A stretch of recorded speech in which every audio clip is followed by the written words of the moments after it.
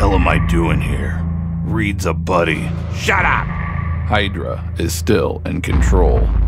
Target Reed Richards as we discussed, and his genius will serve us deliciously. Reed Richards is confined to a think tank, discussing a new project with Tony and Hank. Reed, this is an A bomb you've created here. Politically, it's a powder keg.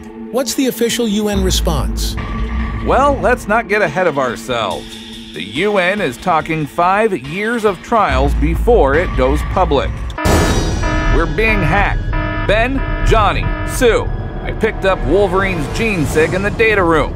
Use maximum force to subdue. Property damage acceptable. Nice car. Flame on! The Human Torch manages to pin Wolverine, but Wolverine is prepared. Verbal override. Einstein, Galileo.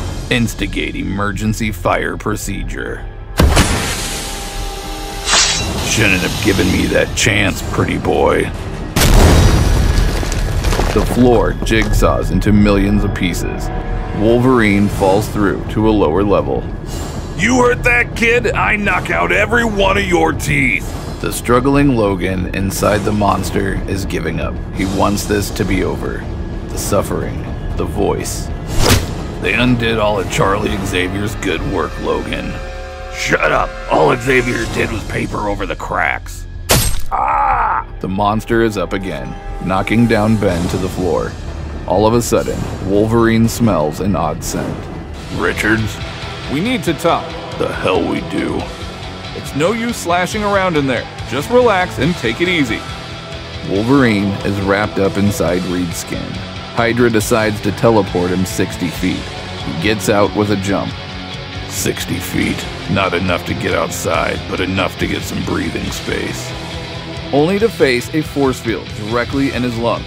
Susan Richards has him trapped now.